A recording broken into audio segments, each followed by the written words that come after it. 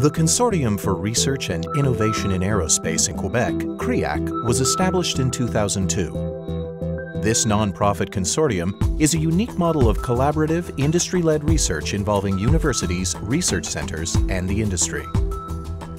Principles governing confidentiality and intellectual property, as well as continuous support and monitoring, particularly in the setting up of research projects, foster the success of the Quebec aerospace industry. Through CRIAQ, businesses have access to the expertise of renowned researchers and to increased financial resources that greatly enhance their initial R&D budget. For a small business, this can represent up to 30 times its contribution to a project. Researchers thus benefit from financial support provided by a range of sources and contribute to technological advances in the industry. This collaborative approach to research ensures that Quebec remains among the leaders worldwide in this field.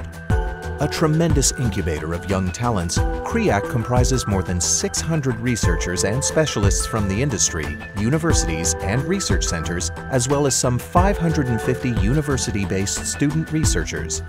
It's an example of exportable and exported collaboration that has caught the attention of other countries and has made us in Canada the envy of our competitors. CRIAQ is a 100% made in Quebec model of open innovation, unique in the world.